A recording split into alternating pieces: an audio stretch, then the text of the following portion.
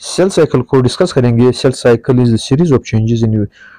in a cell due to which it divides into daughter cells यानी cells के अंदर वो सीरीज़ ऑफ़ चेंजेस जिसकी वजह से वो डाटर सेल्स में डिवाइड हो जाए या डाटर सेल उनसे बन जाए। तो सीरीज़ ऑफ़ चेंजेस को डिटेल में डिस्कस करेंगे।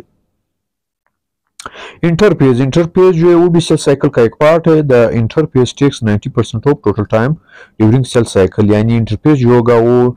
सेल साइकिल का टोटल 90 परसेंट टाइम लेगा। इसको इंटरफेस को अभी डिटेल में डिस्कस करेंगे। सेल साइकिल में इंटरफेस का जो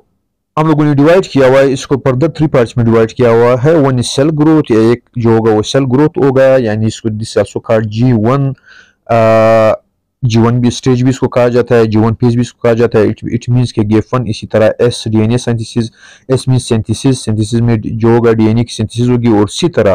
क्रोमोसोम जो होंगे वो डुप्लीकेट हो जाएँगे। यानी एक क्रोमोसोम से उसकी काफ़ी बन जाएगी जो सेंट्रोमियर के ज़रिए एक दूसरे के साथ अटैच होंगे। और इसी तरह G two phase G two phase में more growth preparation for mitosis it means कि यहाँ पर प्रोटीन की सिंथेसिस होगी और इसी तरह माइटोसिस चूँकि हम इस लेक्चर में डिस्कस करेंगे। So so, G two phase में माइटोसिस के लिए क्या होगा? प्रिपरेशन होगा, यानी माइटोसिस के बाद इंटरफेस के बाद स्टार्ट हो जाएगा। फिर इसके बाद आगे डिस्कस करते हैं।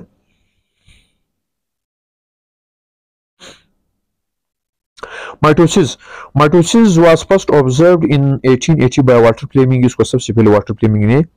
ऑब्ज़र्व किया था, और इसी तरह माइटोसिस क्या होगा? यानी माइटोसिस के ज़रिए जब भी सेल डिवाइड हो जाए तो वो दो नए डाटर सेल्स बन जाते हैं। जिसमें जो क्रोमोसोम का नंबर होगा वो सेम रहेगा इट मींस कि माइटोसिस में जो डाटर सेल्स होंगे इसमें क्रोमोसोम का सेल जो क्रोमोसोम का जो नंबर होगा वो सेम रहेगा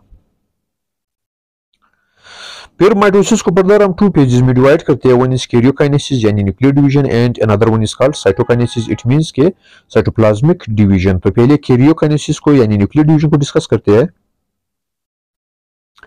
कैरियोकाइनेसिस के फर्दर फोर फेजेस है या फोर पार्ट्स है वन इज़ ये आर्बिट्रेरी है प्रोपेज मेटापेज एनापेज एंड टीलोफेज सबसे पहले प्रोपेज को डिस्कस करेंगे prophase is the first type of karyokinesis इसमें जो न्यूक्लियस होगा वो डिसअपियर हो जाएगा न्यूक्लियस जो होगा दिस डिसअपियर इसी तरह क्रोमेटिन फाइबर जो होंगे वो कंडेंस हो जाएँगे उसी तरह क्रोमोसोम बन जाएँगे इसी तरह सेपरेशन ऑफ़ सेंट्रोसोम यानी सेंट्रियल जो होंगे वो एक दूसरे से सेपरेट हो जाएँगे और इसी तरह स्पिंडल फाइबर का अपीरियंस भी हो जाएगा इसी तरह पर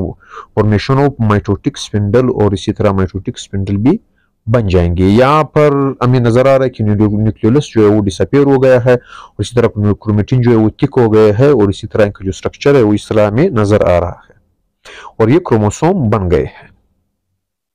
इसके बाद क्रोमोसोम को थोड़ा सा डिस्कस करते हैं। ये हमारे पास क्रोमोसोम का डुप्लीकेटेड क्रोमोसोम का स्ट्रक्चर है और these are two sister chromatids ये दो सिस्टर क्रोमेटिज होंगी जो सेंट्रोमियर के ज़रिए आपस में जुड़े हुए हैं और इसी तरह इस सेंट्रोमियर पर फिर एक दो डिस्को प्रोटीन लगे हुए हैं। In these two disc proteins are called kinetochore इन दो डिस्कों को काइनेटोकोर कहा जाता है और इनके साथ फिर स्पिंडल फाइबर जो होगा वो लग जाएगा। इसको भी अभी डिस्कस करते हैं। मिटाफेज यानी प्रोफेज के बाद हम मिटाफेज को डिस्कस करेंगे प्रोफेज जिस तरह हमने डिस्कस किया कि न्यूक्लियोलस जो था वो डिसअपियर हुआ क्रोमेटिन जो थे वो कंडेंस हुए और इसी तरह क्रोमोसोम में कन्वर्ट हो गए तो मेटाफेज में क्या होगा दिस इज़ मेटाफेज यहाँ पर जो न्यूक्लियर मेम्ब्रेन है वो बिल्कुल खत्म हो गया है और इसी तरह क्रोमोसोम जो है वो सेल के दरमियान अरेंज हो गए है this is the middle point of cell और इसको मेटाफेज प्लेट कहेंगे और इसी तरह जो सेंट्रोमियर है, जिस तरह हमने पहले डिस्कस किया, इसके साथ स्पाइंडल फाइबर जो होंगे वो अटैच हो जाएँगे और इसी तरह microtubules attach to kinetochore kinetochore जिस तरह हमने डिस्कस किया, ये कि सेंट्रोमियर के साथ साइडों पर लगे हुए होते हैं और प्रोटीन प्रोटीनियस इन नेचर होते हैं तो इसी तरह इनके साथ फिर स्पिंडल फाइबर काइटिनोकोर के साथ अटैच हो जाएँगे या माइक्रोटोब्यूल जो होंगे वो काइटिनोकोर के साथ अटैच हो जाएँगे। फिर इसी तरह एनापियस क्या होगा? एनापियस में जिस तरह में नज़र आ रहा है, ये जो स्पिंडल फाइबर्स होंगे या इसी तरह माइक्रोट्यूब्यूल्स होंगे, ये सेंट्रोमियर का ब्रेकडाउन हो जाएगा दरमियान में और इसी तरह ये जो दो स्टेटस सिस्टर क्रोमेटिड्स थे, इनका इनको सिस्टर क्रोमेटिड्स भी कहा जाता है कॉल्ड सिस्टर क्रोमेटिड्स ये हमारे पास जो थे, ये सिस्टर क्रोमेटिड्स होंगी, जिस तरह हमने पहले डिस्कस किया। तो ये जो सिस्टर क्रोमेटिड्स होंगे, एक दूसरे से सेपरेट हो जाएँगे और इसी तरह अपोजिट पोल की तरफ़ हरकत करना शुरू कर देंगे। दैट्स ये क्यों होगा? क्योंकि माइक्रोट्यूब्यूल जो होंगे, वो कंट्रैक्ट होना शुरू हो जाएँगे। दैट्स वाई ये जो क्रोमोसोम्स होंगे, यानी जो सिस्टर क्रोमेटिड्स होंगे, ये अपोजिट पोल पर की तरफ़ ये खींचना शुरू हो जाएँगे ड्यू टू माइक्रोट्यूब्यूल्स और उस तरफ़ ये मूवमेंट करना शुरू कर देंगे। तो इसी के साथ जो आ, मतलब इनाफियस का जो होगा ई फ़ंक्शन होगा। और इसी तरह इनको डॉक्टर क्रोमोसोम्स भी कहा जाता है जो कि अपोजिट पोल की तरफ़ अब हरकत कर रहे हैं। फिर इसके बाद जो लास्ट फ़ेज़ होगा दिस का टीलोफेज ये भी कैरियोकाइनेसिस का ही फ़ेज़ होगा। This is the fourth stage of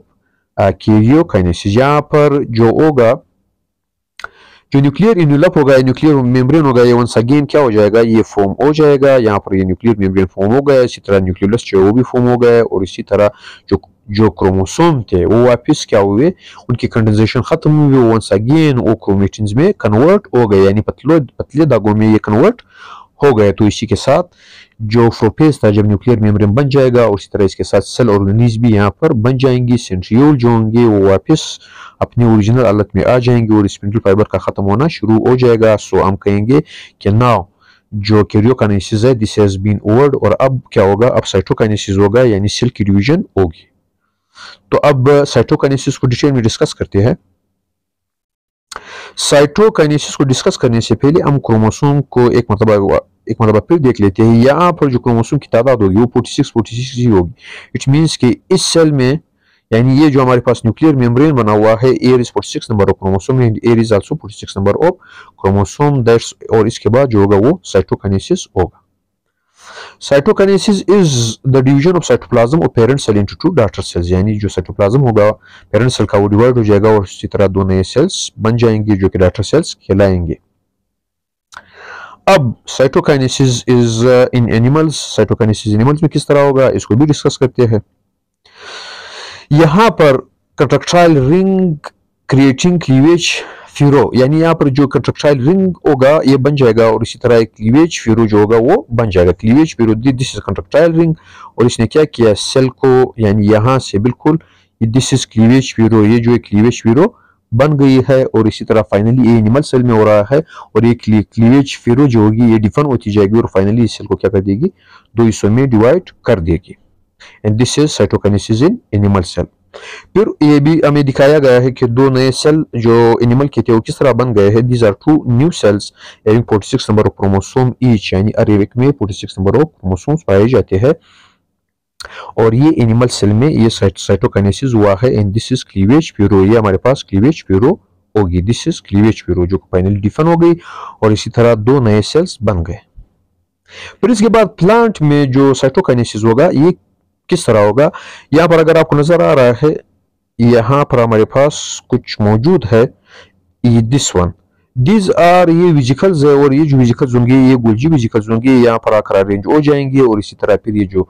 विजिकल्स होंगे, ये फ्यूज हो जाएँगे एक दूसरे के साथ और इसी तरह सेल प्लेट बन जाएगा, जो कि फाइनली क्या बनेगा? दो नए सेल्स में कन्वर्ट हो जाएगा, जो प्लांट के नए सेल होंगे और इनमें भी क्रोमोसोम का जो नंबर होगा, वो सेम रहेगा। एक मरतबा जो cytokinesis in plants and animals है, इनको एक मरतबा डिटेल में डिस्कस करते हैं। दिस इज़ क्लीवेज फ्यूरो ये हमारे पास क्लीवेज फ्यूरो है तो इस इन वर्ड्स को थोड़ा सा पढ़ते हैं। Cleavage furrow is created using a ring of contractile protein जिस तरह हमने कहा कि कॉन्ट्रेक्टाइल प्रोटीन यहाँ पर होंगे, जो कि एक्टिन एंड म्योसिन प्रोटीन होगा। इन्होंने क्या किया? क्लीवेज फ्यूरो जो था, उसको बना लिया the cleavage furrow reaches the centre जिस तरह हमने पहले किया कि क्लीवेज प्यूरो जो डिफेंड हो जाएगा और सेंटर तक पहुँच जाएगा और फाइनली जो सेल होंगे एक दूसरे से सेपरेट हो जाएँगे तो ये एनिमल सेल में हुआ अब प्लांट सेल को डिस्कस करते हैं टू द सेंटर जो गोल्जी थे वो इक्वेटर की तरफ़ मूव करेंगे to form tubular structure across the equator और इक्वेटर जो का दरमियानी दिस इज़ इक्वेटर का दरमियान वाला इलाका होगा तो यहाँ पर जो म्यूजिकल्स होंगे गोल्जी म्यूजिकल्स ये फ्यूज हुए और इसी तरह एक ट्यूबुलर स्ट्रक्चर बन गया this is tubular structure the tubular structure merge to form two plasma membrane of two daughter cells completion of cell division यानी ये जो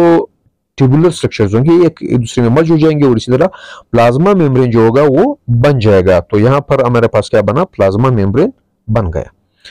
The pectin and other substances deposited between two membranes by exocytosis और इसी तरह pectin और other substances जो होंगे वो प्लाज्मा मेम्ब्रेन के साथ के बाहर मीन्स आउटसाइड क्या हो जाएँगे यहाँ पर अरेंज हो जाएँगे और इसी तरह मिडल लिमिला जो होगा वो बन जाएगा इसी तरह सेल वाल फॉर्म एडजस्ट फिर इसी तरह सेल वाल की जो कंप्लीट जो फॉर्मेशन होगी वो कंप्लीट हो जाएगी और इसी तरह पेक्टिन और अदर सब्सटेंसेस के साथ साथ मिडिल मिला जब बनेगा सेलुलोज भी होगा, वो भी सेल के अंदर आ जाएगा और इसी तरह सेलुलोज भी सेल मेम्ब्रेन के बाहर मिडल लिमिला में डिपोजिट होना शुरू हो जाएगा और इसी तरह सेल वाल का बनना आखिर में कंप्लीट हो जाएगा और दो नए सेल प्लांट के बन जाएँगे।